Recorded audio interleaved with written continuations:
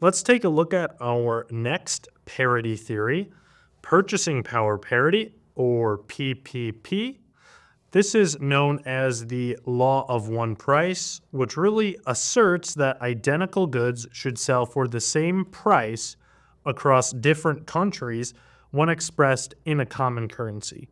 An example of this could be a product that costs $100 in the US, and that product, according to the law of one price, really should cost an equivalent amount in euros in the eurozone when adjusting for the exchange rate. We have two versions of PPP. One is absolute PPP, and the second is relative PPP. So, absolute PPP is a theory that states that the exchange rate between two countries should equal the ratio of the country's price levels, assuming there are no transaction costs or trade barriers. This rarely holds because of bad assumptions, as it doesn't account for the frictions that are associated with things like transaction costs and trade barriers.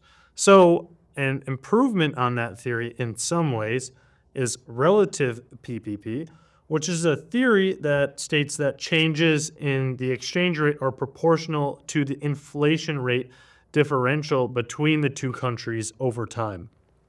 This really asserts that spot rate change is equal to inflation differentials.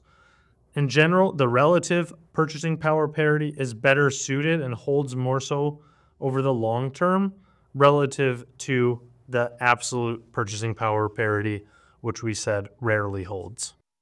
Absolute purchasing power parity says that the equilibrium exchange rate between countries A and B will be based on the ratio of their price levels. So in this formula, this S sub A divided by B, that's the nominal exchange rate between the countries A and B. Then this P sub A divided by P sub B is a ratio of both countries' price levels or price indexes. We could call it either one.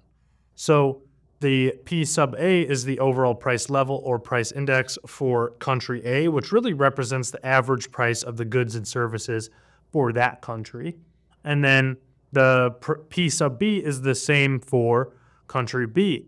So absolute PPP assumes that the prices of goods when adjusted for exchange rates are the same across countries. However, this may not hold true. Things like transaction costs, trade barriers, differences in goods and services can drive these differences. We also know anyone who's lived knows that this often is not true because you know either you yourself have gone on vacation or you might know people that have gone to other places or lived in other places and they'll say oh man you wouldn't believe how cheap this thing is over in this country or how expensive this thing is over in this country, right? Things aren't going to always cost the same in every country. So we had some problems with absolute purchasing power parity.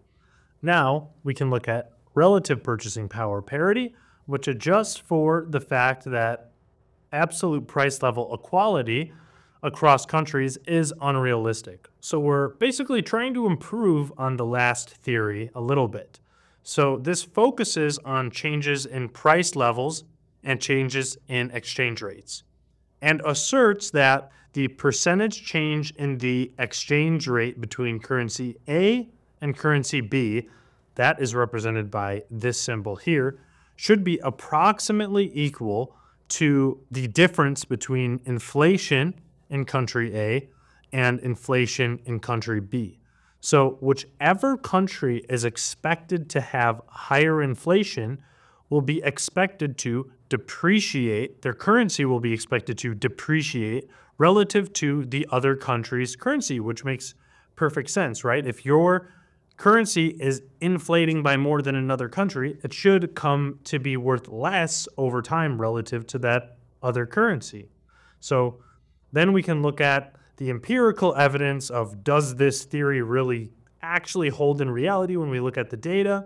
And we see that over the short term, no relationship between changes of inflation and changes in exchange rates is evident in the empirical data.